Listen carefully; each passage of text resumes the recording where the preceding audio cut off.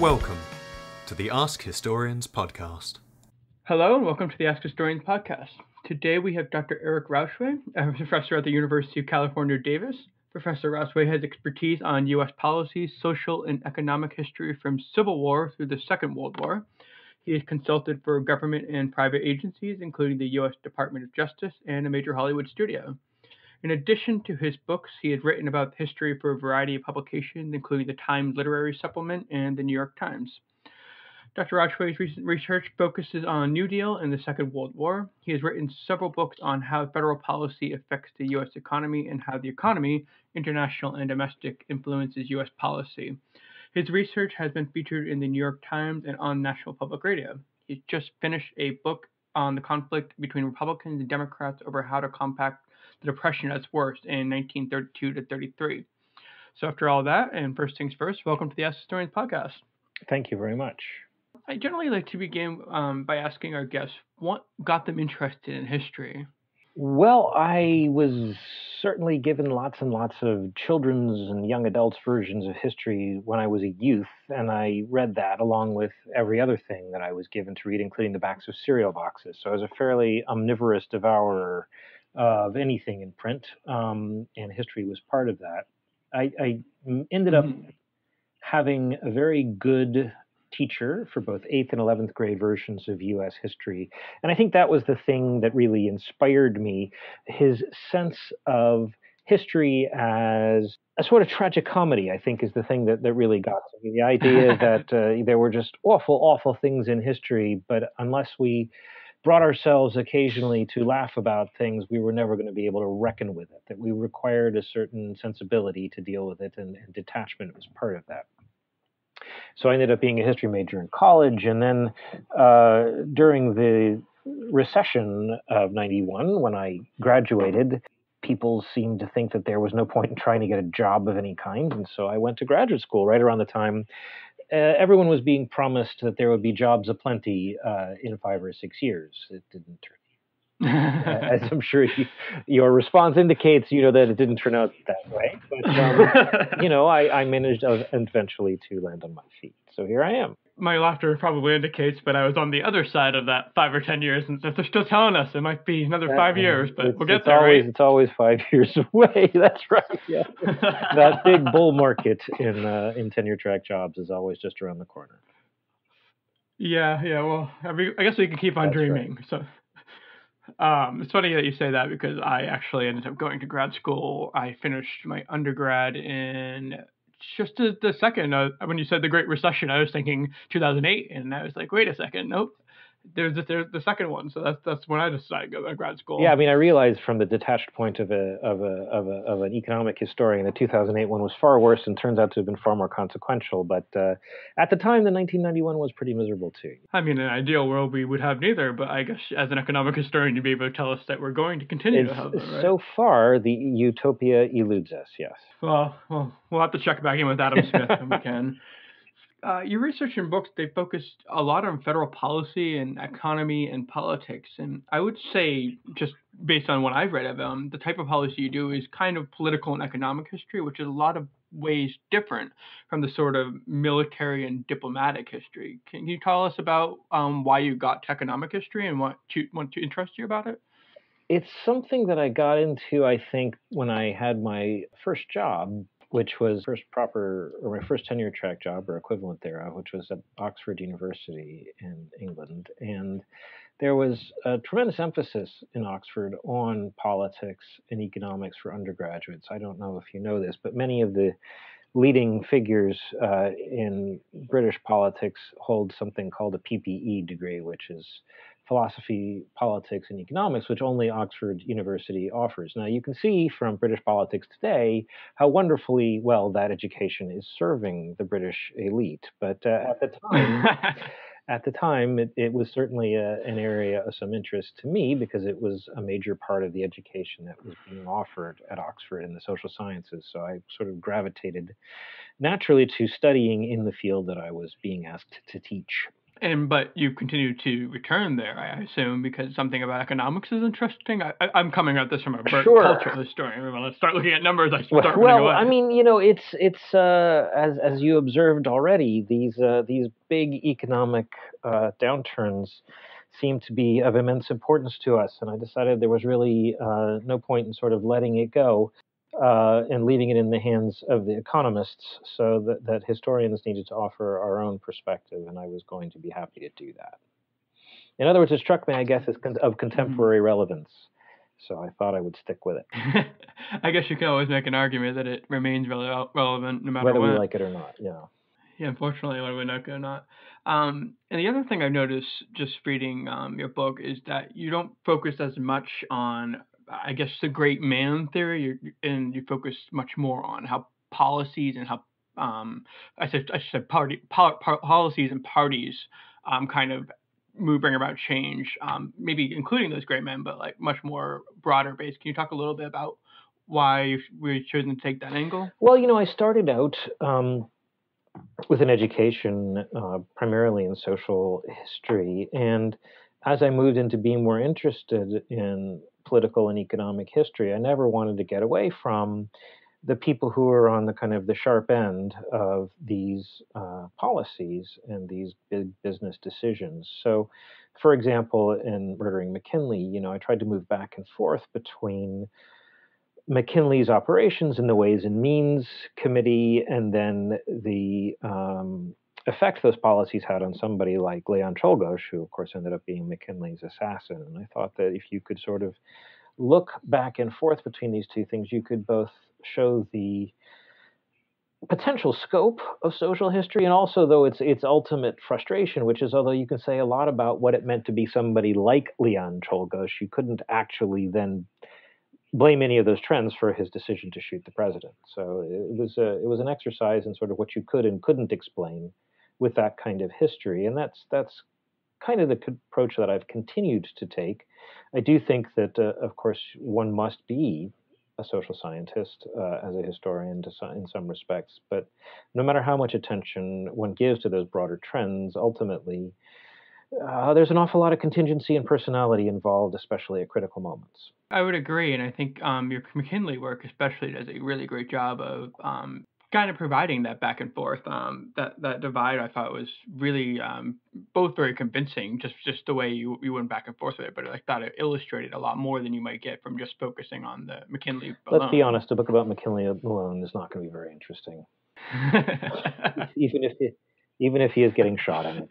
Sorry, well, I mean, you could have focused just on his That's assassin alone true. too, right? that's true. But I mean, you know, I think that uh, there's a certain reverse sensationalism and that kind of thinking because you know it, it, we have to show how consequential these things are. As as we teach our graduate students we have to be able to say so what? you know about uh, uh, our focus. What why does our research matter what are, what are the what are the consequences of these things that we're looking at Absolutely. Um, I, I think so. I think that's kind of one of the things that's continued to drive me when when asking and researching. I'm, I'm working on a PhD Mhm. proposal right now, but when I'm as I'm writing it, I'm like, so what? What, what does it what does it matter? And that, that doing that has led to a lot more, forced me to illustrate my idea. Yeah, well, I mean, a lot of us get into it because we like the stuff, we like the sources. You know, we just really have some kind of visceral connection to those things. But when you're forced to explain to, you know, the the uh, kind of mythical person in an elevator why you want to do this and do it in you know between floors, you know, you really have to be able to say this really matters because. Um, so I guess to turn a little bit towards the main focus of today's interview is um, that strange interwar period. Um, I think most of our listeners are familiar with World War One and World War Two, of course, but a lot of people get a little bit vague, kind of about that in between area. Um, I think there was a lot of partying. There's something about the Gatsby's. Is that That's right? yes. I mean, Sure. I think that uh, you know, for for many historians of this era, we really want to say, look, this is um, all part of one big set of events from 1914 really to 1945. And you can't understand anything that mm-hmm. goes on, whether it's during the actual wars or the period between, without reference to that larger chunk, right? You know, Winston Churchill called this the modern 30 Years' War, and he's sort of not far off in that assessment. So when you talk about the Jazz Age, I mean, the Jazz Age is only really enabled by the fact that the, the rest of the industrialized world has blown itself up in the Great War. And so uh, the only sort of economy left standing, as it were, at the end is the United States. And, um, you know, therefore, there's a much larger market for and interest in American cultural products during that period. And and as I think you also know, that there's a kind of standard story here that, uh, to borrow from E. H. Carr, the United States was offered world leadership in 1919 and notably refused, right? So that the um, mm. administrations of the 1920s turned towards nationalism. Uh, using a slogan that we will today find familiar, America First, which the Harding campaign used, as well as the Ku Klux Klan in the 1920s to signify a return towards nationalism and a moving away from the rest of the world. It's a period of peak immigration restriction. It's a peak period of the last big hurrah for high tariffs and a general sort of uh, mm-hmm. rejection of involvement with uh, the globe and its various affairs. And that um, sort of rigidification of the economy, especially with respect to mm-hmm. international influences, is a significant factor in leading to the Great Depression, which, of course, is a global and not merely a, a United States event. Mm-hmm. What do you think was the, the driving move behind that, that term of nationalism? Because as far as I, I was told when I was learning about World War One, this was the very first time the United States really got itself really involved in the rest of the world's politics. Yeah, I th- this um, World War One kind of seems to many Americans in 1914 to happen to them. You know, it, its causes largely come from outside the United States and don't have a whole lot to do with American history as it has been going on up to that point. It's sort of here European affairs intrude. It seems that way to a lot of people. And then, of course, American involvement in the war is not very long. You know, America, the United States declares war in April of 1917, but it doesn't really field troops until in any significant numbers anyway until the following year. It's only involved in the last phases of fighting in the war, but it's it's short but very intense, and you have these large numbers of not very well trained American soldiers getting killed in much uh, in disproportionate numbers precisely because they're being put into this long established slaughter machine without any sort of idea of what uh, what they should do to defend themselves. So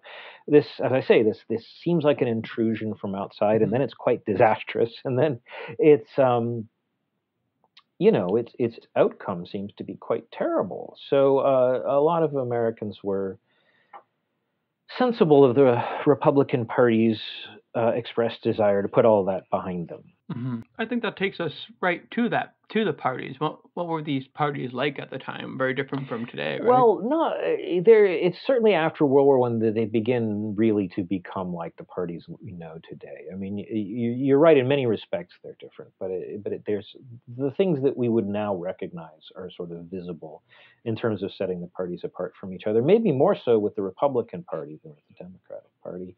You know, the Republican Party had been home to many progressives, uh, as they called themselves in the 19 teens. These were people who thought of themselves as allied to Theodore Roosevelt, the Republican who uh, had the uh, ill fated uh, but quite influential uh, third party bid in 1912. Um, but after mm-hmm. that, a lot of state parties and I should say this research uh, showing this was done by a doctoral student who worked with me named Casey Sullivan. and It's really quite outstanding. Shows that a lot of the state parties sought to drum the progressives out of their ranks and to turn the party mm-hmm. in a mm-hmm. more uh, what we would today recognize as a conservative direction. And this was largely successful by the time of the 1920 election. So you have a party, a Republican Party in the 1920 that looks very much like the one we know today. That's very leery of attempts to uh, regulate the economy, uh, specifically leery of any attempts to limit the actions that can be taken by the managers of business and the owners of capital, not very friendly to labor unions, and uh, you know, generally, especially like the Republican Party today, uh, leery of too much involvement with uh, international affairs.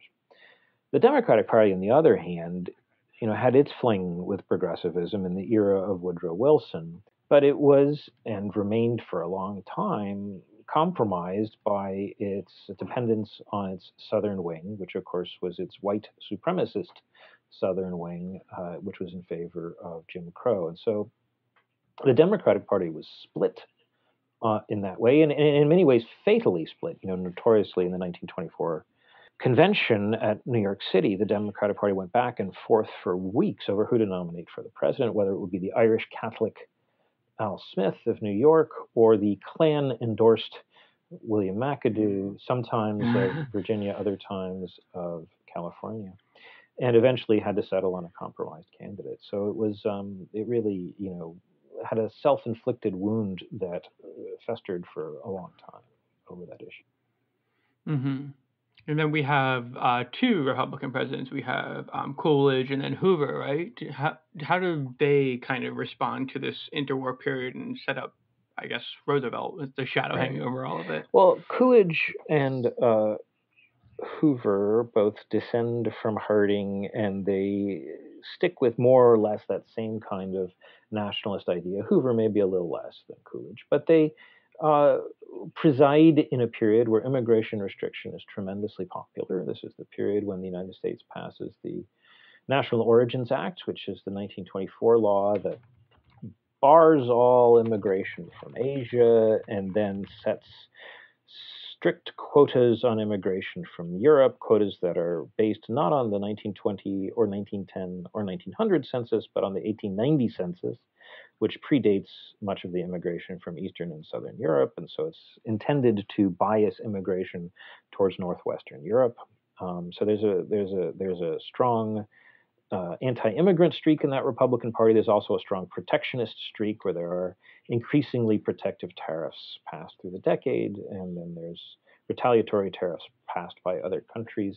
So there again, there's a sort of a nationalist economic and cultural policy of this Republican Party, which is also the party of prohibition, which is itself mm. a uh, thinly disguised bit of anti-immigrant legislation in many respects. You know, unlike 19th century temperance, which is about how I might drink too much. Prohibition is about how those people over there definitely drink too much, and usually they're you know the Irish or the or the Italians or the Germans or or, who, or what have you. Interesting. I actually didn't know that. So that's um that's that's sort of that Republican Party, I think, uh, in a nutshell. Um, and then of course Hoover, as you mentioned, is overtaken almost immediately in office by the fact of the Great Depression. And mm-hmm. and he doesn't. How, how did he first try to respond to it? Or I guess I guess we should probably ask what causes the Great Depression if I have an economics historian, right? right? Uh, yes. Well, I could give you my standard lecture on what causes the Great Depression. It usually takes about 50 minutes to get through. The um, I suppose the short answer there are an awful lot of international debts left over from World War One. World War One is a sort of cataclysmic event, not only militarily but economically for the world. And one of the things it achieves is that the United States goes from being the world's great debtor to the world's great creditor. Uh, and whereas the United States had borrowed an awful lot of money prior to World War One, you know, for the purposes of developing the West, which is to say, you know, building railroads and fencing in lands and otherwise exploiting resources. Obviously, some of those ventures failed, but broadly speaking, that's a sort of productive form of investment. You know, when the when the when the balance shifts and all that money gets borrowed back by uh, Europe, they plow it into literally destructive investments, you know, shot and shell and ammunition and poison gas and all kinds of things that not only don't yield any return, but in fact destroy a lot of. So they're in tremendous debt after the war, and they also have killed off a lot of their better uh, laboring members of their population. So everybody owes everybody mm-hmm. money, and everybody owes it to the United States, which puts the world in a very precarious position uh, after the First World War there, which is can only really be sustained as long as the U.S. continues to lend money to the recovering countries. Well, the U.S. kind of stopped doing that in 1928 because the Federal Reserve Board is trying to curb borrowing for speculation in the stock market, and that leads to a bunch of uh, countries sliding into recession, including Germany.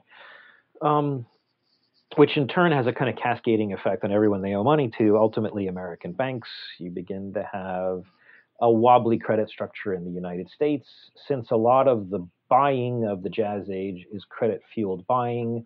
People stop buying stuff. That means that people are out of work. And then you have a sort of vicious cycle where you know banks can't really lend money, or sometimes they're imperiled in their very uh, continued standing.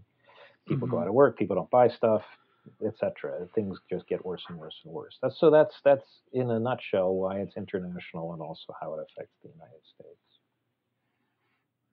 That's a much better job of explaining it, I think, than I think I, my high school teacher ever did, which was like, well, they weren't drinking, so they were just doing it all on the stock market. well, there's there's I'm sure there's that dimension to it as well. Yes. Uh, that's the, what I've just given you is the extremely cartoony version, but it will do you in a pinch, I think. Right, of course, and then um, that gives us, of course, to Hoover. Right. right. So yeah, the, the crash really occurs in the fall of 1929. Hoover, at that point, has only been president since March, so it's most of his presidency is occupied with almost the entirety of presidency is occupied with the Great Depression. And you know, Hoover's response is to lean on his past as an organizer of cooperative enterprises. You know, I mean, he started out as a businessman. Of course, he was. Um, well, he started out actually being very poor. He came from a, a, a one room uh, house in a very small town in Iowa and kind of, you mm-hmm. know, made something of himself, as they said in those days. He uh, became a mining engineer and then became a very, very, very, very, very rich man in the gold mining business uh, through dint of success and managerial success in particular in that business. He retired relatively young. Went ultimately into public service and philanthropy, first privately and then in government service when Wilson uh, mm-hmm. asked him to head the food rationing effort for the United States during the war. So he had a long track record of being a great manager. And in 1927, when uh, Coolidge was president and Hoover was Secretary of Commerce, there was a massive flood on the Mississippi River affecting multiple states and many, many, many, many thousands of people. Hoover was asked to head the flood relief effort, and again to kind of organize the Red Cross and other relatively, you know, cooperative or volunteer organizations, and he proved to be successful at that as well. So he ran for office as that, you know, the sort of the master of emergencies, the great engineer, the great organizer. And when the depression came, yeah. he tried to meet it more or less by the same means, which is you know getting people together and urging them to uh, do their uh, civic duty and to act in sort of the common interest. Only it it, it just it just didn't work. You know? I mean, the, the the the scope of the crisis being a global economic crisis was far too great for that. You know, the structural weakness, particularly of the American banking system, was far too great for that. But even even on the sort of smaller level where Hoover tried to address these problems by, you know, getting the nation's principal business leaders together and extracting from them a promise not to lower wages. You know, that's that's that's great. It's just that an awful lot of people were employed by other smaller scale business leaders. And of course, a pledge not to lower wages is not a pledge to lay people off, not to play lay people off. So you know, that kind of thing was, may have looked good, but it was ultimately ineffective. And so all the voluntary and state and local agencies that mm-hmm. you know existed, of course, to provide aid to the unemployed ultimately were tapped out. And there was no place to turn, but Hoover was adamant that the federal government would not get into the business of aid to the unemployed because he was just profoundly ideologically opposed to that idea, which he viewed as socialist. Mm-hmm was uh, Hoover's. Would you kind of, from what I'm saying, it sounds like Hoover was ultimately he failed to have a big enough vision of both the crisis and what the government could do, I guess, to respond to it. I think that's true, and I think that um, you know, in, in part, it's hard to think that anyone would have responded right away with a more capacious vision. I mean, even now, even with the 2008 Great Recession or whatever we're calling it in our rearview mirror, Um, you know, it still Mhm. wasn't a catastrophe of the scope of the Great Depression, thanks be, right? Uh, partly because, Yeah.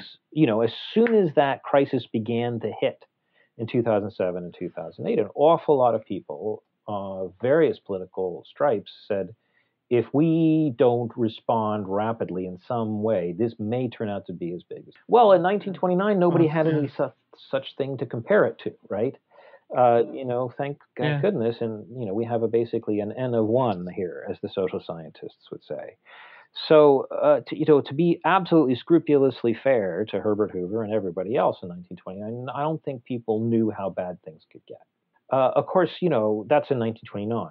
Maybe a year later, two years later, you might begin to have a different view of things. And then that's where you, I think Hoover is more blameworthy.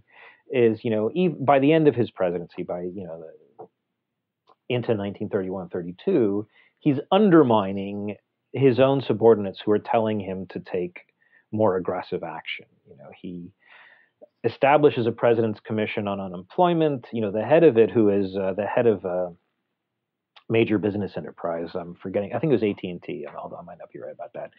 Yeah. t- tells him informally, we're going to have to have federal aid to the unemployed. And Hoover says, you know, I'm going to have to sack that guy because he's a weak sister. That's a quotation. You know, he um, is, as I say, he, even when his subordinates tell him he has to take more aggressive action, he refuses. You know, and most that's most notable in the case of the last big banking panic during his presidency when the Federal Reserve appointee Eugene Meyer, who he put in office, uh, you know, is telling him he needs to take aggressive action to shut down the banks and to prevent this panic from reaching catastrophic proportions. Hoover just adamantly refuses to do it. So, as I say, some point in there he becomes blameworthy. It's hard to pick the day, but some point between 1929 and 1932, 33, you can say that Hoover can be held to to to to uh, to held responsible for what's going on. Not to account. no. Well, you know, it's a big account, so uh, I got a lot to spread around, I Yeah. guess.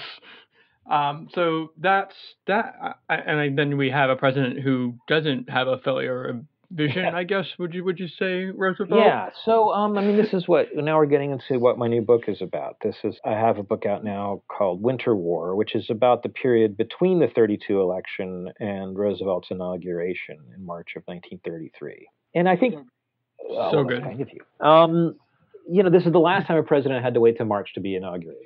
They change that after that period.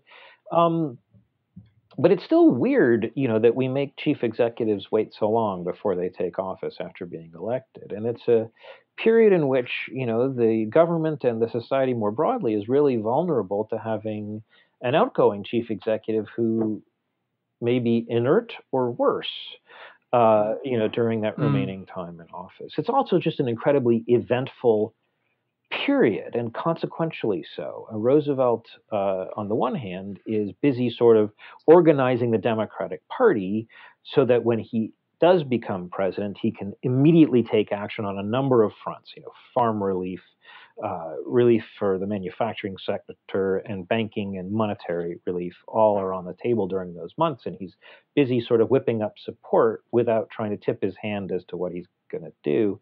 Um, at the same time, affairs are just catching up with him. It's not till uh, January, but then all of a sudden, Adolf Hitler becomes Chancellor of Germany, fulfilling a lot of people's worst fears, or even beyond. You know, bringing about something that everyone said, "Oh, that will never happen," and uh, that really alarms Roosevelt right away and reorients a lot of what he's thinking of doing in terms of how can the United States become a counterweight to Nazism in the world. It's also the period during which Japan is booted out of the League of Nations for uh, its invasion of Manchuria. So we can see, you know, the seeds of the Second World War already in these months, and we can see how Roosevelt's policy is reoriented towards not just getting the United States out of the Depression, but getting the United States out of the Depression so that its economy will be strong enough to prove the durability of liberal democracy. So, as I say, it's a very important. And uh, not not only that, uh, of course, also in those months,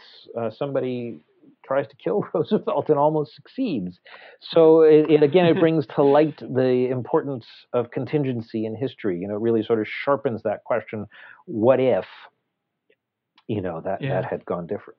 to to turn to what he does actually do as far as um, organizing the party. Um, you, you mentioned that he he's focusing on really developing the under, I guess the foundation for the New Deal in this point. Um, where where does he get his inspiration and his ideas from? Well, there are multiple sources for what becomes the New Deal, um, partly because the New Deal becomes so many things. But one of the hmm. major strains is progressive republicanism. In his first cabinet, Roosevelt has Henry Wallace as his Secretary of Agriculture, former Republican, Harold Ickes, mm-hmm. uh, Secretary of the Interior, former Republican, Frances Perkins, first woman hmm. to serve uh, in the in a cabinet, and also a former Republican.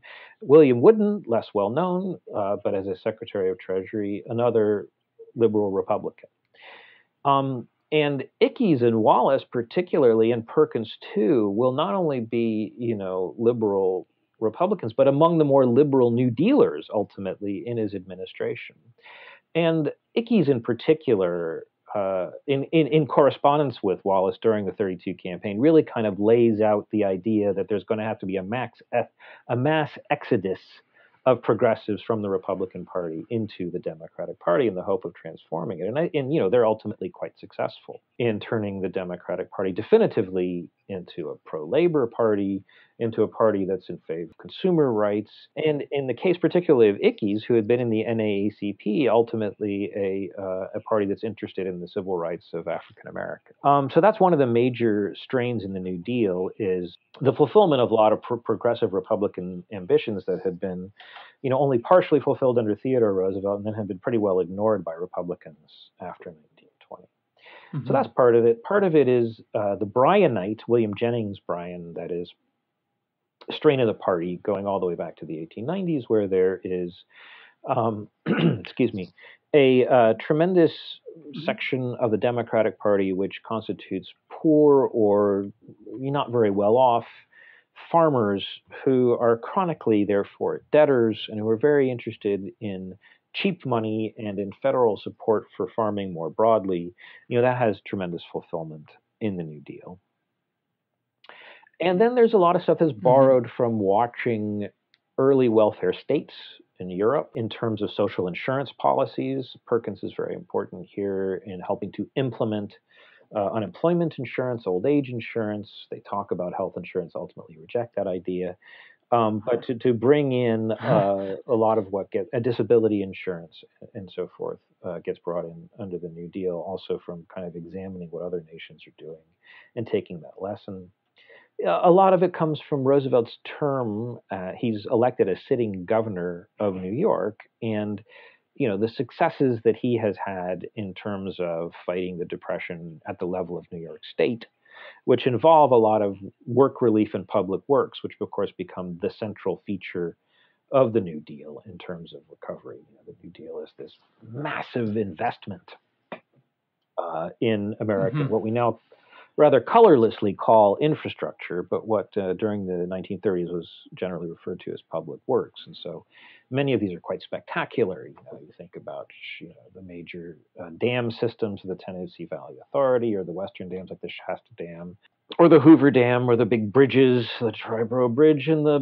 Bay Bridge, and uh, you know the airports like LaGuardia, and all of these things get put in. But there's also the much uh, more humdrum infrastructure. You know the vast the vaster part of works progress administration spending and the vaster number of people employed on that program are in the business of building and widening roads, which becomes a, you know, a tremendous basis for the post-war boom is this new network of good roads in the United States. So mm-hmm. it's there's that sort of that transformation of the country by means of public works is is rooted in the experience of combating the depression before the war. Some of those ideas are imported from uh, the economist John Maynard Keynes, who, of course, is uh, mm-hmm. a major influence, uh, and more so as time goes on, on the New Deal. There are also ideas that come from the uh, progressive Republican era of conservation and of thinking holistically in terms of how built world acts in concert with the natural world. And so when they go at things like the Tennessee Valley Authority, they think not only about the dams and the farming and the fertilizer and the electricity and the flood control and the river navigability, but also about the erosion and the trees and the fish and the waterfowl. And so they, you know, they don't get everything. There are often really quite terrible consequences of some of these major mm-hmm. and rapidly conceived and executed ideas, but they try to think in these kind of what we would now call ecological terms. So. Uh, the the, mm-hmm. the, short answer to which that was a very uh, a ver- short version of that answer is uh, there are a lot of things that go into the New Deal and an awful lot of things that come out of it. It's interesting. Um, I hadn't even thought about the roads, but I, I am at Indiana University Bloomington. I go to I work at the Kinsey Institute, and every day I walk down the road, and there is a on the sidewalk there. There's a this this road was widened due to the public work project, uh, but you can you can still see them uh, kind of everywhere. Um, you can walk around. You know where I live in Davis, California. There are sidewalks downtown that have stamps saying WPA 1938. A sidewalk will last pretty mm-hmm. much forever unless a tree root gets it right, and so.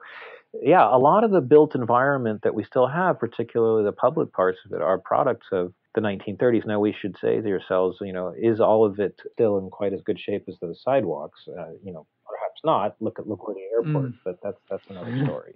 I, I was going to. Uh, you mentioned him, but I was going to draw it out a little bit um, about Keynes. Um, wh- how, he seems to take on such a, a massive role in American economic history now, but especially a big role um, in Roosevelt. Right. Himself. Well, as you as you might know, I, I, wrote a book about the relationship between Roosevelt's politics and Keynes' ideas, um, which I think is is worth spending some time on. You know, they're they're both these kinds of outsized figures, one in, in intellectual history and one in political history, and they have more in common than you might think, but uh, you know, also still perhaps not that much. I mean, but Roosevelt was Roosevelt was more of an ideas man than he usually gets credit for, and Keynes was more of a politician. You know, Keynes is vitally important to British uh, political and economic history for at several important phases. You know, he was at the Versailles Conference uh, to bring an end to the First World War, and he famously quit the conference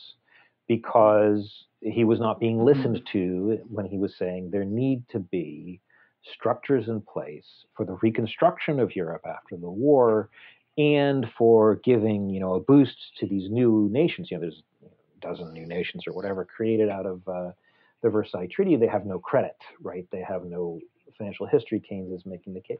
And Wilson, particularly, is um, really c- quite uninterested in any form of economic policy. And so the, the treaty ends up having yeah. nothing like you know what would become very important aspects of the post World War II settlement, largely because Keynes, you know, is still around in 1944 and is still influential or is influential again in being the architect of that sentiment. So that arc of his career about what do you do to prevent a major war is a very important part of that interwar story. The other thing that's very important about him, of course, is his prescriptions for monetary and fiscal policy in the case of an economic crisis. And basically, his argument in both cases is go big. You know, print as much money as you possibly can. Mm-hmm. Stay away from all kinds of arguments like you need to adhere to hard money or a gold standard. And then the other hand, uh, you know, spend money that you don't have again on public works, so that uh, you can put lots of people to work and provide what we now understand to be an economic stimulus. And yeah, Keynes looms very large. Mm-hmm. I think it's fair to say again in macroeconomic thinking, you know, he was out of style uh, owing to the rise of more conservative movements politically and intellectually beginning in the 1970s and extending through the period of Thatcher and Reagan. Uh, he came back in with a vengeance after after 2007, 2008, and everyone suddenly discovered, good golly, yeah. uh, some of those Keynesian ideas might be might be good. yeah, you know, again, Roosevelt, from the time Hitler comes in, which is just before Roosevelt's inaugurated, really thinks of the New Deal as mm-hmm. a measure to prevent the rise of fascism. He's actively worried that the United States will have a fascist movement. You know, he mentions this during the 32 campaign. He's really much more worried about it with Hitler's accession to power because he thinks that, you know, Hitler being in power is going to strengthen Mussolini being in power. It's going to strengthen the forces of rightward movements, you know, throughout the world, including within the United States. Turns out he's not wrong about that. You know, the um, mm pretty much the week after Hitler comes to power, you know, one of his aides, Rudolf Hess, uh, you know, gives the go-ahead to establish a Nazi movement in the United States, and you know, there's a there's yeah. a, there's a really very good reason to be worried about the possibility of the rise of a fascist or Nazi movement within the United States, pretty much from 1933 onwards. So Roosevelt's view is greater prosperity more widespread prosperity, or if you like, economic democracy, is the essential basis for the survival of political democracy. And the New Deal proceeds with that overriding idea, you know, for everything. That all of the things that it provides mm-hmm. to people in the United States are by way of showing them that their democracy works for them and that they shouldn't abandon it, you know, for some other form of government. So I think I think you have to have that idea in the back of your head whenever you're thinking about what the New Deal does for the idea of America and for the idea of public resources in America. That it's all with that idea of you know yeah. hoping that democracy can survive when it's really legitimately under threat you know, I mentioned before that one of the weaknesses of the Democratic Party is that it's beholden to its white supremacist Southern wing.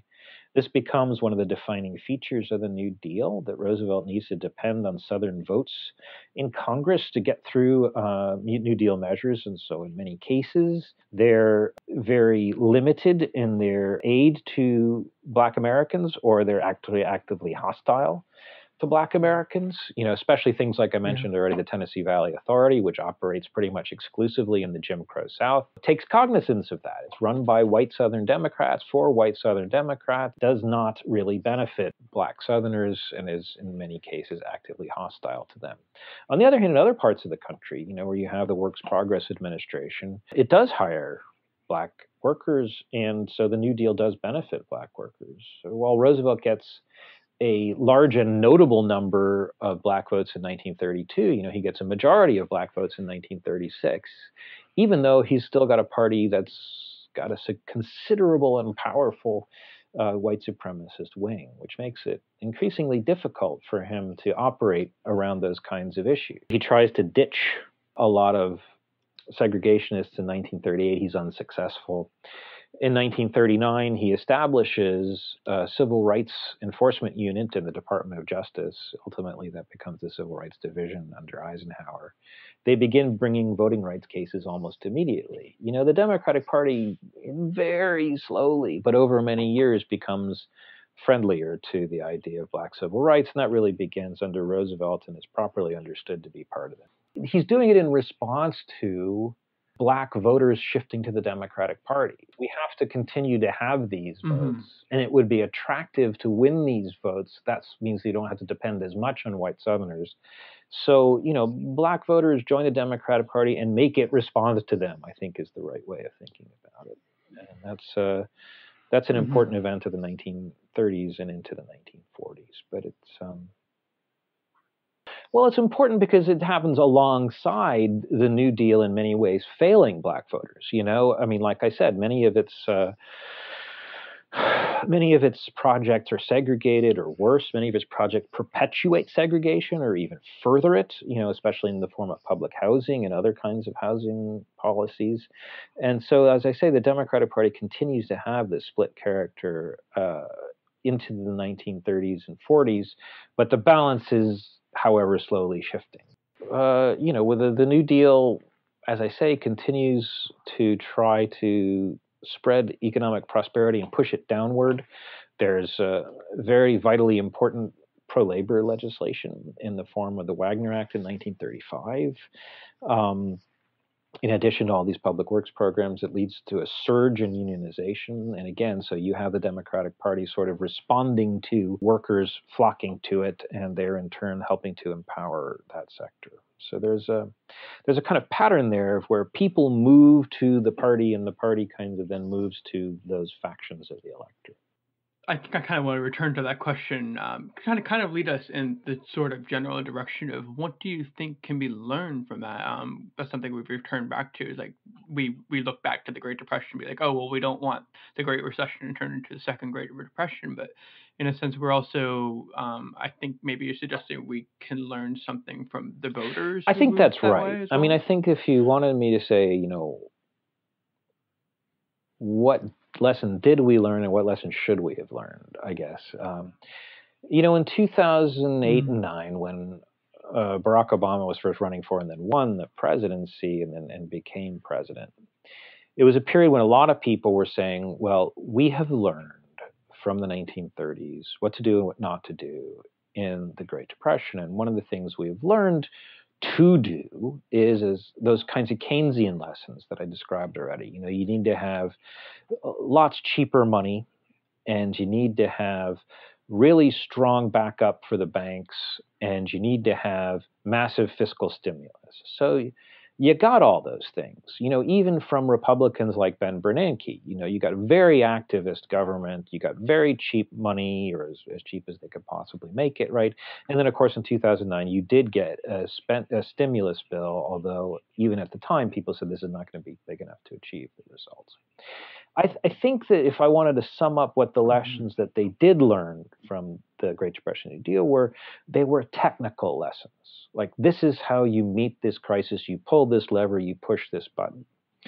I would say that the lesson that they didn't learn is the Mhm. one I've been trying to uh, emphasize in our discussion here is this larger lesson of ensuring that the run of American voters felt invested in their government and feel that the government really belongs to them. Mm. There's very little of that in 2008 and 9. You know, in the 1930s, those WPA plaques and signs are ubiquitous. There are millions of Americans who are employed by the WPA. In every county of the country, there's a WPA project, you know for as much money was spent by the uh, Obama era stimulus in 2009, you know, it wasn't as widespread, it wasn't as hyped, there wasn't that investment in the symbolic democratic with a small d value of these projects. And so I think that message of uh, widespread ownership in what we together were doing was not carried over from the New Mm. Deal to the modern era, and I and I think that was one of the reasons that people felt kind of let down by the Obama, the sort of technocratic response of the Obama era. You know, there wasn't this kind of massive small d democratic involvement or investment. So that's that's kind of how I'd answer that question.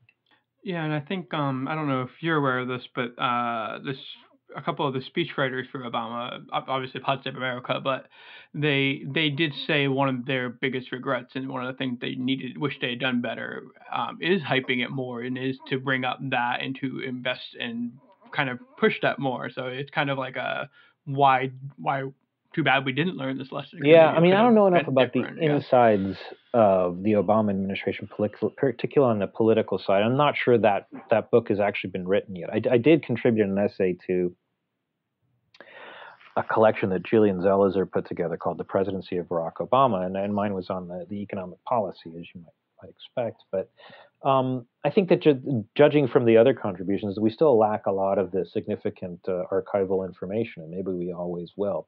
But there does seem to have been this weird kind of contempt for the New Deal and for liberal Democrats more generally at the top of the Obama administration. And I'd like somebody to kind of tease that out, but I don't I don't know if we'll ever we'll ever get that kind of inside story. So I guess kind of um, to bring us towards, uh, I guess, a final conclusion. Um, you you kind of given us, I think, probably one of the most comprehensive histories of just how the New Deal kind of got rolling and started. But um, and you we talked a little bit about how um, what we could have learned from it. But what do you think is important to remember um, from both maybe both um, the New Deal and maybe economic history in general? I think again the thing to remember about the New Deal is the vital importance of giving for lack of a better phrase, ordinary Americans a sense that they are intimately involved in what their government is doing, that they are not helpless at the mercy of these massive institutions and forces, but that these massive institutions actually belong to and are responsive to us. You know, that's that's the essence of what really made the mm. New Deal successful. So that even when you know, in 1937, there was another economic downturn after, you know, four or five years of very high speed economic growth. Suddenly there was a stumble, there was a downturn. You know, Roosevelt didn't lose a lot of political ground in that. People still stuck with him. People still reelected him to be the leader of the United States going into what they knew would be a massive European war.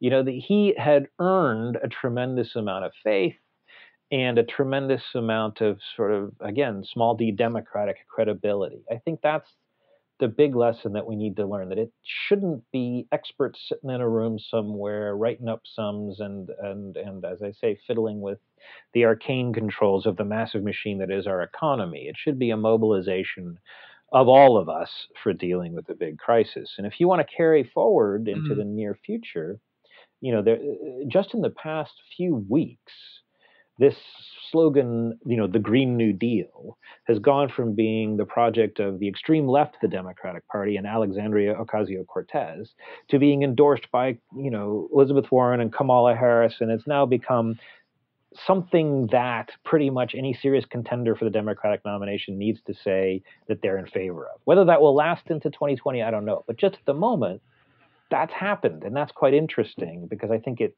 is symbolic of this idea that we need a large and actually democratic effort to combat the crises of our own time. I agree. I don't think I could uh, more enthusiastically agree. I don't. I, I, hope you're not thinking about running for president. I, I am not. I am totally uninterested in that. yeah. well, the country's lost. I just wanna. I just wanna say thank you so much for doing this. I really appreciate it. Well, thank you so much for inviting me. I appreciate that. It's very kind of you, and uh, I, am really grateful that you have given the time. You've been listening to the Ask Historians podcast. Please support us at patreon.com slash askhistorians. Find more history like this by following us on Twitter and Facebook, and by visiting us at askhistorians.reddit.com and ask hundreds of historians and enthusiasts anything you want to know about history.